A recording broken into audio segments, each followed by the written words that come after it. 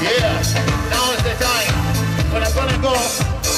If you guys really it, I want everybody to say, oh God.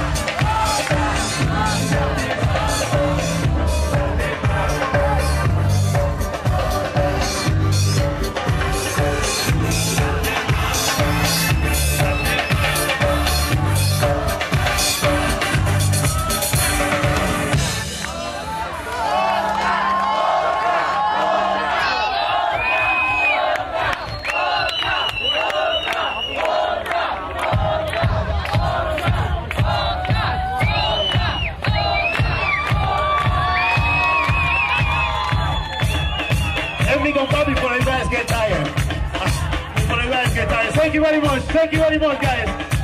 Thank you very much. They told me, they told me I have time, so I, I don't want to do otra. I'm going to do two more. I'm sorry, I'm sorry, I'm sorry, I'm sorry. And, uh, this song means a lot for me. Means a lot because I was an athlete in Cuba. I was a basketball professional player out there.